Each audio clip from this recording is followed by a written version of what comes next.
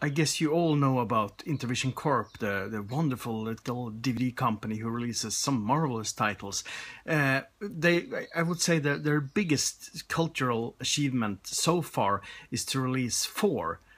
Uh, I mean, four, four of uh, of uh, Bruno Mattei's latest movies or last movies. You know, he died. Um, which is a very sad thing because it felt like uh, Mattei had some kind of renaissance coming up, you know. And these last movies are splendid exploitation movies. Is they're just like the 80s, just like the 80s. It's the only uh, only difference is that they're shot uh, digital, but still beautiful movies, lots of gore, nudity, and you know everything else. You know we, we like. But they they release stuff like In the Land of the Cannibals or Mondo Cannibal. Uh, these are more or less, you know, uh, re reboots, remakes, uh, copies of Cannibal Holocaust and, and similar movies. Uh, then they made the, the, the beautiful, crazy, entertaining movie Island of the Living Dead, which weirdly enough uh, rips off a lot of movies, but it, it rips off Uwe Boll's House of the Dead. Now I like that movie, and but this one is even better you know, with better I mean it's crazier, it's cornier, it's cheesier, but it's made with a heart. It's it's made with with passion compared to some other movies. I don't I don't want to mention any titles. I just don't like bashing stuff.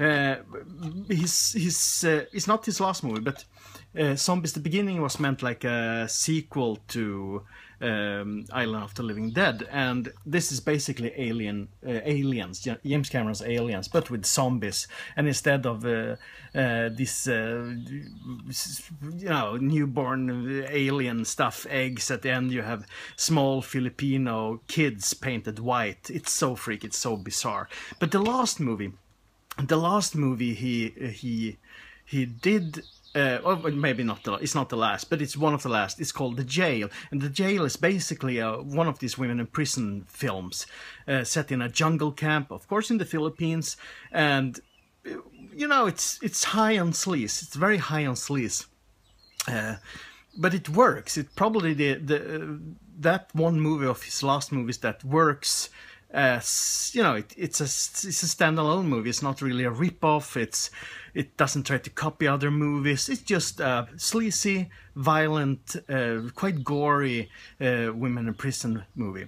Uh, not bad at all. But Intervision Corp have promised in a Facebook comment that if these movies sell good, if these sell good, so go out and buy them directly, they will also release The Jail on DVD, you know, if the interest is good enough. And you know, I, I have a DVD of The Jail, but I don't want to show it because I, I want you really to buy these movies and support Intervision Corp so they release The Jail.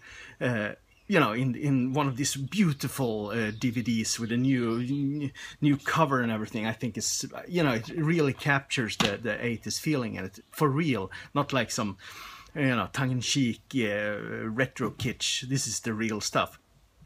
But one of the reasons why I always return to the jail and I want to see it uh, get a wider, better dis distribution is this guy. Manson and Forsythe are not dead, they're only lost in the hellish green of the jungle. And soon, avant-garde virtual techniques will enable the audience to find them. These tapes must be destroyed. Ain't he marvelous? I love him. You know, okay, some people might say I, I, I, you know, you, can laugh at him, you know, or, or, and, but no, I don't laugh at him.